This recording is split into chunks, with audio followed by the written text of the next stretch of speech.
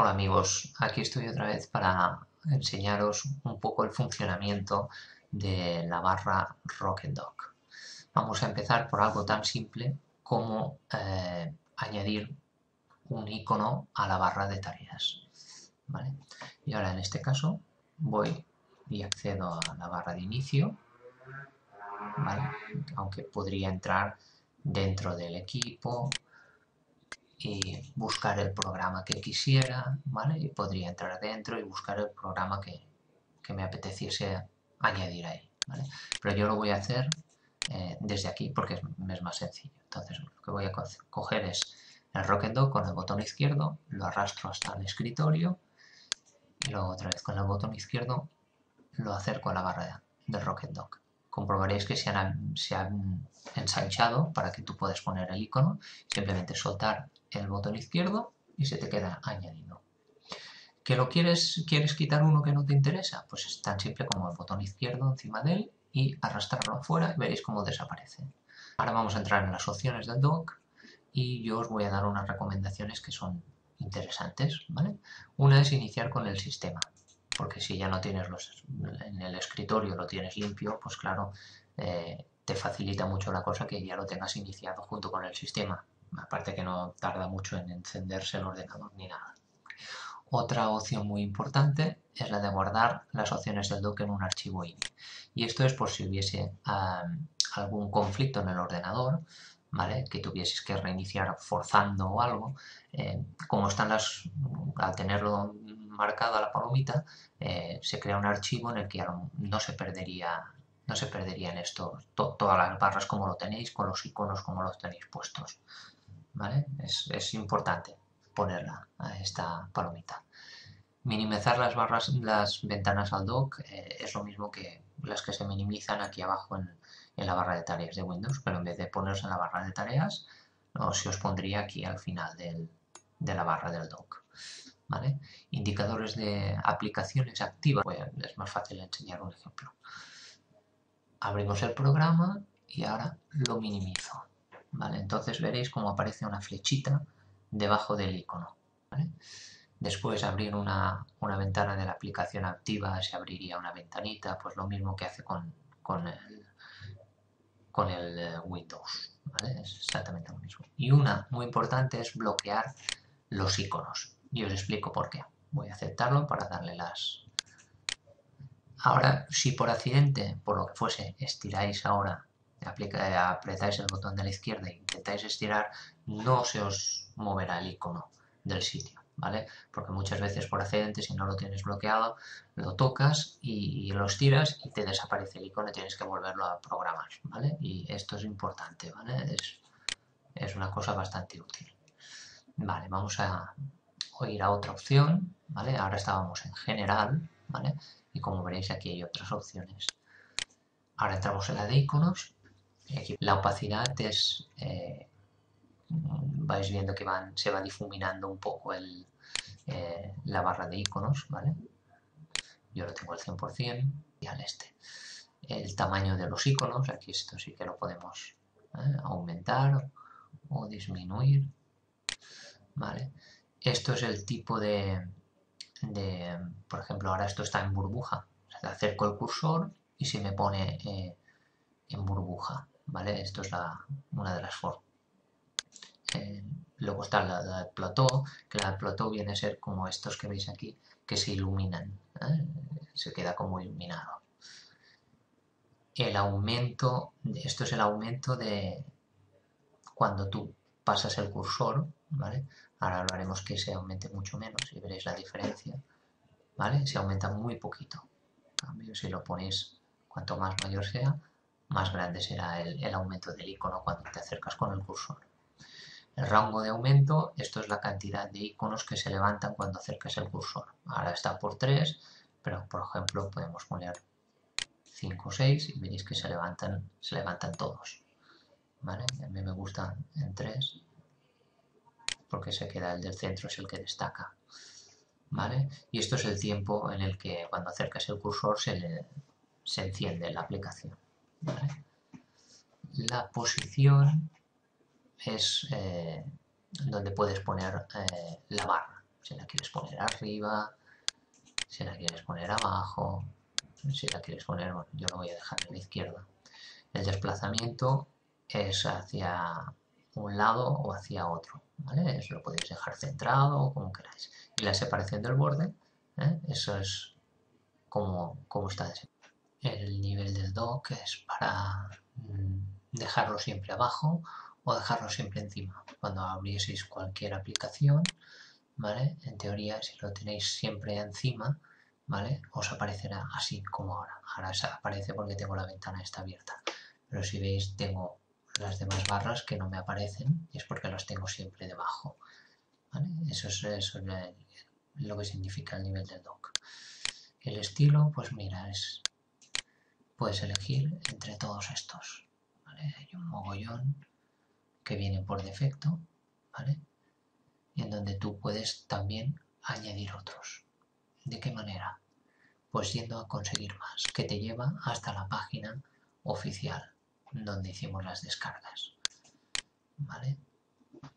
Acciones, pequeñas aplicaciones, ¿vale? En este caso vamos a elegir poner una piel, ¿vale? Tenéis que ir a skins. Esta, por ejemplo. Entonces entramos dentro y nos abre esta ventana en la de donde podemos descargarlo. Vamos a descargarlo. Tan sencillo como esto. Vamos a guardar el archivo y ya la tenemos descargada. Entonces vamos a... Y aquí tenemos el rock 1, que es lo que acabamos de descargar. Los traigo aquí. Y tenemos la carpeta rock 1. Yo lo que hago es copiar, podéis copiar o cortar. Yo, a mí me gusta cortar.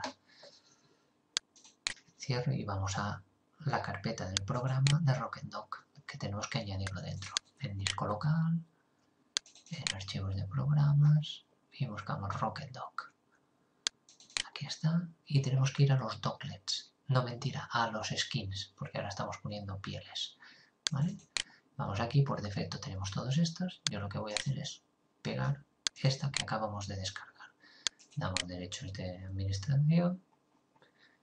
Y ya tenemos la ROC 1, ya la tenemos dentro.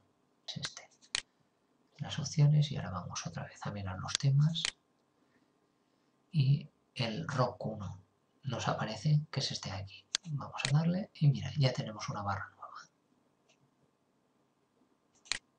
de conseguir más. Eh, está muy interesante el tema de los docklets. Uno de los importantes es el, stack, ¿vale? Porque esto es como... Mm, esto que tengo yo aquí, que se me antico un icono, ¿vale? Y se me abre una carpeta en donde tengo una serie de programas. Y así no tengo que tener desperdigado un montón de iconos por ahí o ocupar barra, que al final acabas teniendo 50.000 iconos. O sea que con uno puede haber muchos dentro metidos, ¿vale? El stack es esto, ¿vale? Entonces lo que vamos a hacer es, para que lo veáis, descargarlo, ¿vale? Vamos dentro del stack, igual que con las pieles, ¿vale? Y vamos a descargarlo. Guardar archivo, aceptamos y se descarga en un momento, ya habéis visto. ¿Vale? Yo no los traigo porque ya tengo la carpeta aquí dentro. Entonces sería cogerla igual que la piel, copiar o cortar, el corto, por ejemplo, y volvemos a ir a las carpetas del programa. Descolocar, archivos de programas, Rocket Dock, pero ahora en vez de ir a las skins, voy a los docklets. Como veis, yo ya lo tengo dentro, entonces no lo voy a pegar, pero lo que haría es botón de la derecha y pegar, ¿vale? Vais encima de la barra, con el botón de la derecha vais a añadir elemento. Si lo habéis hecho bien, el stack tiene que apareceros aquí. Entonces, le doy y nos aparece esto, este botón. Este botón es lo mismo que este, lo único que aquí yo ya le he puesto el icono y ahí no le he puesto. Para configurarlo es muy sencillo. Primero tienes que haber creado una carpeta, ¿vale? Con los programas que quieres que aparezcan dentro. En este caso, por ejemplo, voy a elegir la de programas, ¿vale? Yo he hecho una carpeta nueva, ¿vale? Con dentro estos accesos directos de los programas que quiero, ¿vale? Ahora lo único que tengo que hacer es ir a las opciones de aquí, opciones de icono, y buscar la ubicación de la carpeta. Yo lo tengo en esta ubicación y aquí veréis que me aparece la carpeta programas. Le doy a, a programas y acepto. Aquí puedo poner el icono que yo quiera. De por defecto nos salen estos que nos da la barra Rocketdoc. Si queréis más, pues si tenéis más iconos, pues le dais al botón más y buscáis la carpeta donde tengáis los iconos, ¿vale? Y aceptáis. Entonces os aparecerá aquí junto con este, pues si ponéis dos o tres, pues junto con este os aparecerán todas las que queráis de ir añadiendo de carpetas con iconos. Yo, por ejemplo, tengo esta puesta aquí ahora y elijo uno cualquiera. Este, por ejemplo, aparece aquí y le doy a aceptar. Vale, ahora ya tenemos puesto la ubicación del programa, de la carpeta del programa y la ubicación del icono. Ahora lo que podemos hacer es el modo en que queremos que nos aparezca. Grid, el sistema grid es lo mismo que este. Se abre un cuadrado en el que aparecen los, iconos. El fan que tenemos aquí es un poquito más diferente, como más divertido. Eh, ticas encima y ya tengo los, los programas listos aquí para poder abrir. ¿vale? encima de uno de ellos y se me abre donde tengo el programa ese. Eh, esto es fan y este es grid. ¿Vale? Esto es para que podáis ver la diferencia. Como veréis, aquí me aparece este icono. Esto es para entrar directamente dentro de la carpeta. Yo no lo utilizo nunca. Si no lo queréis, es tan fácil como entrar dentro de las opciones y poner esta palomita que pone no enseñar. ¿Vale? Lo tengo aquí para que quiero entrar directamente a la carpeta. ¿Vale? Y estos son, son los docklets. ¿vale? Este lo voy a quitar para que no me dé fallos. ¿vale? Y todos los docklets tienen el mismo funcionamiento, ¿vale? Tienen que ir en la carpeta de docklets, los skins, en la carpeta de skins dentro del programa RocketDock, ¿vale? Los iconos y los wallpapers no son necesarios, ¿vale? Meterlos dentro del programa RocketDock, pueden ir en otra carpeta diferente, pero los skins y los docklets sí que tienen que ir dentro de la carpeta RocketDock. Aquí podéis ver es para perder un poco el tiempo, ¿vale? Y podéis mirar todos los docklets que hay, ¿vale? Esto es un reloj digital. Aquí podéis mirar, yo que sé, aquí dentro, un escritorio virtual, un icono en movimiento, el abrir y cerrar la portezuela del CD automáticamente sin tener que tocar el botón. Bueno, es cuestión de perder un poquito de tiempo para poder entretenerse y buscar la cosa, que ya no quedan muchas más porque esto es lo más importante en la configuración lo que hay es esta que para que se oculte automáticamente ¿vale? entonces la barra aparecerá y desaparecerá solo cuando pases el cursor ¿vale? vamos a ver si el cursor te aparecerá el icono ¿vale? Vamos a ver otra cosita yo normalmente lo desactivo esto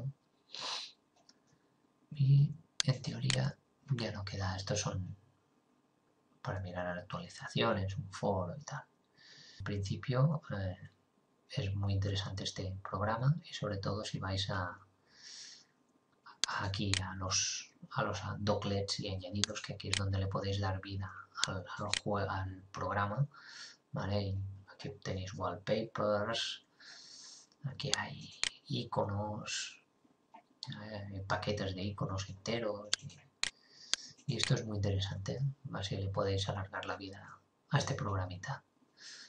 Bueno, pues ya sin más y esperando no haberme dejado nada, nada en el tintero, me despido de vosotros hasta el próximo tutorial.